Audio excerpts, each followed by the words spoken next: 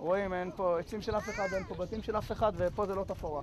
ככה נראתה מגרון. חברי סיעת ישראל ביתנו הגיעו היום אל מה שכבר הפך בשנים האחרונות להרבה יותר מעוד מאחז, מגרון. יצטרכו למצוא פתרון מהיר ומוצלח ליישובם מחדש, שלא תחזור אותה הפרשה הכאובה של uh, מתיישבי קטיף. צאו מכאן, יש פתרון תוך שנה, ושוכחים מהם.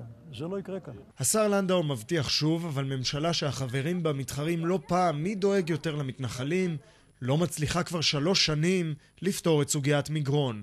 הפשרה האחרונה אליה הגיעו המתיישבים עם השר בגין נפסלה בשבוע שעבר בבג"ץ.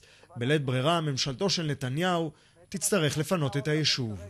יש כאן עניין אה, מדיני שהוא מעבר לנושא משפטי, וזה נושא ההתיישבות כולה, נושא אחיזתנו ביהודה ושומרון, וזה כמובן יימשך וביתר שאת.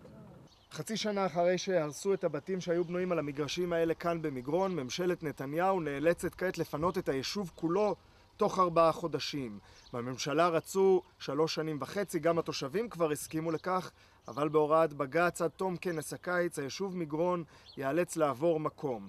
חברי סיעת ישראל ביתנו שמבקרים כאן היום מביעים הרבה מאוד הזדהות עם התושבים, אבל גם הם עדיין לא מצאו את עצת הזהב, זו שתצליח לרבע את המעגל הזה ולפתור את הבעיה. אה, הצעת החוק של זבולון אורלב יכולה לשמש כפתרון.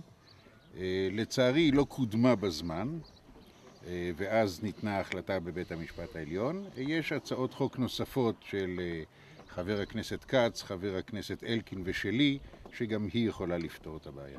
מאמצים לחקיקת חוק משנים את המצב העובדתי. הוא אמר שאם לא יהיה שום שינוי עובדתי, אז פסק הדין יקוים. אוקיי, בסדר, זה כללי המשחק של המדינה. אנחנו א' מצטערים על הפסיקה של בית המשפט שנעשתה בניגוד לדעת ראש הממשלה והפרקליטות.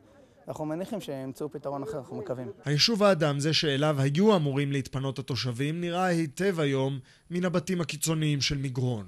ייתכן שבחודשים הקרובים יעברו לשם למגורים זמניים עד שיושלמו העבודות בגבעת היקב הסמוכה.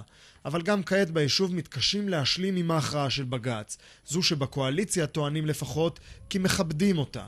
ישראל הראל ממייסדי גוש אמונים, תושב עופרה וגם אביו של איתי הראל, הגיע היום למגרון לחזק את בנו וחבריו.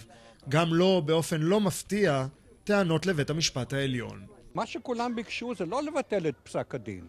הם בסך הכל ביקשו הערכה. מי לא מקבל דבר כזה על הרקע האנושי? על מה אפשר לעשות בארבעה חודשים? כשבאמצע יש לך את החגים, יש לך עכשיו פסח, יום עצמאות, יום הזיכרון, יום השואה, מי בכלל מתפנה לעבוד בחודשים האלה? במגרון היום תסריט של פינוי ילים נשמע כמעט דמיוני. נוכח הלחץ שמפעילים המתנחלים, רבים בקואליציה כבר ביקרו וחיבקו ביישוב, שפינויו נוכח פסיקת בית המשפט העליון נדמה היום כבלתי נמנע. ארבעה חודשים נותרו כדי לוודא שהדבר ייעשה ללא אלימות, או לחילופין, למצוא עוד פתרון יצירתי שידחה את הפינוי.